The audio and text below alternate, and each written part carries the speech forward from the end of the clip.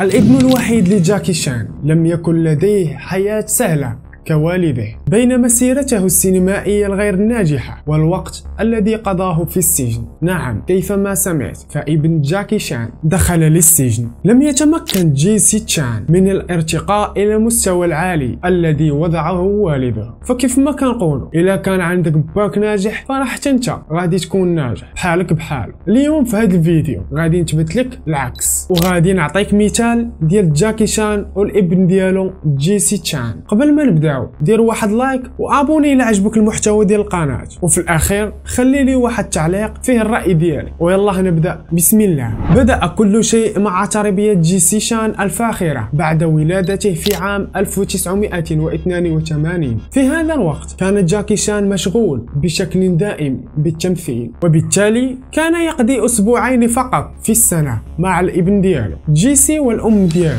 كانوا مشهورين. وهذه راح حاجة باينه وطبيعية لأن ديالو كان هو جاكي تشان وهذا هو السبب اللي كان كيخليهم ما يخرجوش بزاف بسبب جدول أعمال والده المزدحم. يعني أن جيسي قد نشأ بالكامل تقريبا على يد والدته التي بدأت تفسده بالكماليات التي توفرها شهرة جاكي شان وثروته يعني أن الأم ديالو ما تقناش التربية ديال جيسي جاكي غادي يخرج بواحد المذكرة وغادي يقول فيها جيسي أي هو الابن ديالو ما كانش كيقلق بشأن الحصول على ما يكفي من الطعام أو كيفية دفع الرسوم المدرسية. وقال باللي كان موفر ليه أي حاجة. السائق ديالو اللي كان كيديه وكيجيب جاكي كيعبر عن الندم ديالو. وقال لا ينبغي لأحد أن يتمتع بمثل هذه الحياة الطيبة منذ ولادته. يعني فشش ولده بزاف. من الواضح أن جاكي شان كان يعتقد ذلك لأن تربيته كانت عكس ذلك تقريبا. نشأ في ظروف سيئة للغاية على يد أبوين لاجئين.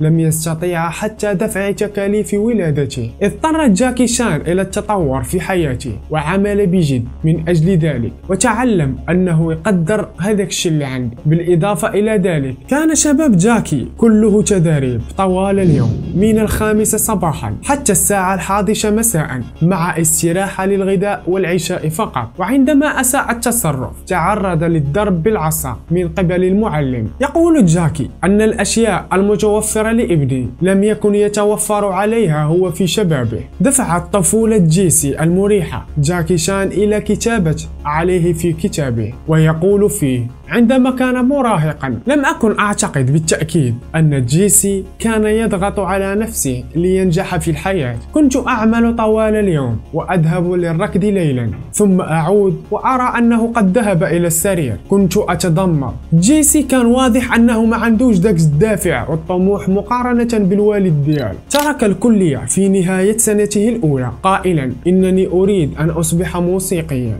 جيسي كان باغي يكون موسيقي. مصادر أخرى تشير يشير إلى أنه طرد من المدرسة نتيجة الإفراط في شرب الخمر والظروف المعيشية الغير نظيفة وفصلين دراسيين من الغياب الغير مبرر. جيسي كانت رغبته في أن يصبح موسيقيا ضد إرادة جاكي الذي لم يكن يرغب في رؤية ابنه في مجال العروض الموسيقية. انتقلت جيسي من لوس أنجلوس إلى هونغ كونغ عام 2004 خطط لتنمية قصته الناجحة في الموسيقى. قائلا إنني آمل أن أصبح مشهورا بناء على قدراتي الشخصية بدلا من الاعتماد على صورتي واسمي العائلي. كان جيسي واثقا جدا من الانتقال إلى الصين لدرجة أنه تخلى عن جنسيته الأمريكية مقابل الحصول على الجنسية الصينية. جيسي غادي يصدر أول ألبوم ديالو وتم الوصف ديالو على أنه مضيعة فظيعة للمال. الألبوم ديالو كانت سميتو جيسي ببساطة كان بمثابة فشل تجاري والسبب في ذلك كما وصفه جيسي أن هونغ كونغ تختلف عن الأماكن الأخرى. جيسي غادي يقرر يجمع ما بين الموسيقى والفيلم لظهور في فيلم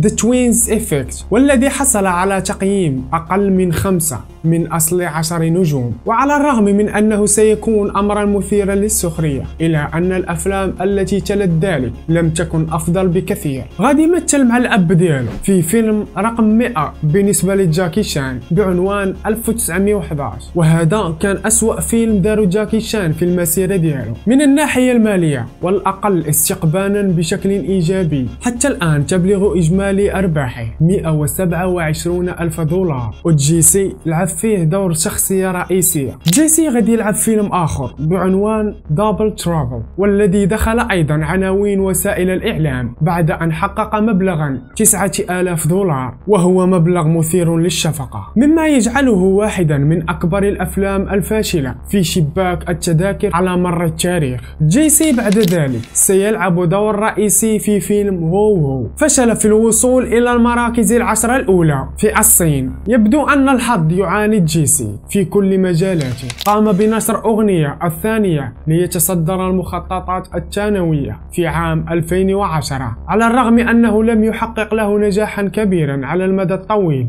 ولكن يبقى نجاح ولو قليل. في 14 أغسطس 2014 سيجد جيسي نفسه في فضيحة إعلامية جديدة عميقة. مما سينتج ضجة. ستقوم الشرطة بتحميل لقطات لجيسي تشان وهو يتم القبض عليه في شقة والده الفاخرة والتي تبلغ قيمتها 10 ملايين دولار والتي يعترف من خلالها بوجود ما يقرب من 100 جرام من الحشيش في خزانته. كان هذا سيئا جدا لسمعة عائلة تشان حيث كانت جاكي شان سفيرا للصين لمكافحة المخدرات منذ 2009 هنا فين غادي يخرج جاكي شان في المواقع التواصل الاجتماعي وغادي يعتذر من الجمهور مدار الابن ديالو جيسي. وغادي يعبر على الغضب ديالو وغادي يقول أنا غاضب جدا ومندهش. كشخصية عامة أشعر بالخجل كأب أنا حزين. لا أستطيع أن أبدأ في وصف ألم والدتي. لقد فشلت في أن أكون ابا جيدا. وأستحق اللوم. سأتحمل المسؤولية وأعتذر للجمهور نيابة عن جيسي. في هذه اللحظة بالضبط تبرأت جاكي شان عمليا من ابنه وقال لم أزره حتى الآن. لم أستخدم حتى أي اتصالات للاتصال به. يقول جاكي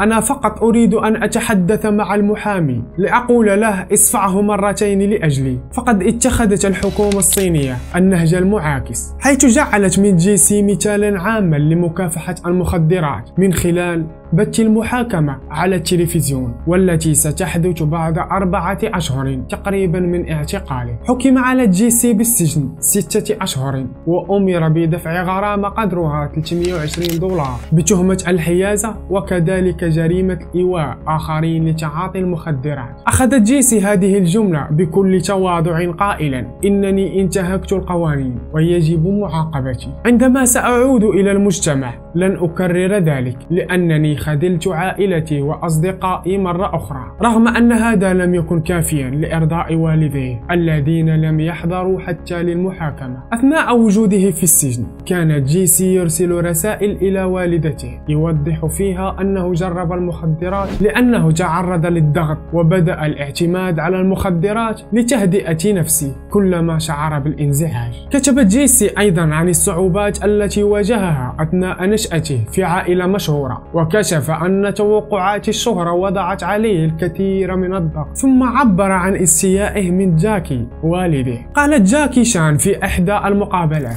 أتمنى أن أكون سفيرا لمكافحة المخدرات مدى الحياة حتى أنني آمل أنه بعد خروج جيسي يمكن أن يصبح سفيرا لمكافحة المخدرات أيضا ويطلب من الجميع الابتعاد عن المخدرات وهو ما أعقبه تصريح جاكي علنا أنه يدعم عقوبة الإعدام في بعض الجرائم الخطيرة. بالإضافة إلى ذلك سيعلن جاكي شان أنه سيتبرع بكامل ثروته الصافية البالغة 350 مليون دولار للأعمال الخيرية ولن ينقلها إلى ابنه جيسي. مضيفا أنه إذا كان قادرا على جني الأموال الخاصة إذا لم يكن كذلك فسيكون مجرد إضاعة أموال. جيسي عاد إلى أمريكا بعد خروجه على الرغم من أنه لم يعد مواطنا هناك. يبدو أن الاثنين قد تصالحا منذ عودة جيسي إلى الولايات المتحدة الأمريكية ومع ذلك يواصل جيسي الاختلاف قائلا. لا أريد دائما أن أتبع خطى والدي أريد أن أكون مختلفا. مضيفا أنه سائم من كونه شخصا في ظل والده. منذ عودته إلى الولايات المتحدة بدلت جيسي جهودا لتغيير حياته حيث أخرج فيلمه الأول في عام 2021 بعنوان Good Night